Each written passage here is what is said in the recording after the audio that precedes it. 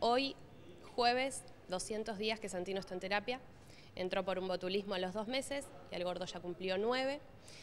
Eh, y lo que estamos necesitando ahora es hacer su rehabilitación respiratoria para que pueda dejar el respirador y respirar por sus propios medios. Un aparato costoso que Es lamentablemente no se consigue. Que sale 100 mil pesos y que en Bahía Blanca no se consigue, no se usa porque es como, no sé, algo bastante innovador. Lo utilizan en los hospitales de Buenos Aires para hacer las rehabilitaciones respiratorias justamente.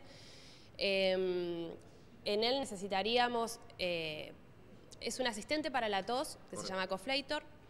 Eh, esto trabaja con presiones negativas y positivas eh, y provocaría que él pueda toser y limpiar sus pulmones de mucosidades y de la tos. eh, que él al sacarlo del respirador se cansa y no puede toser con eficacia, no puede movilizar sus secreciones. Lo han intentado aquí en el Pena sacarlo Hemos intentado dos veces sacarlo del respirador, las dos veces fallaron, la última vez fue bastante mejor que la primera, estuvo tres días, Correcto. pero obviamente volvió a agotarse, por esto mismo él se cansa, eh, no puede toser efectivamente, no puede movilizar sus secreciones, entonces es como siempre el mismo círculo. Claro.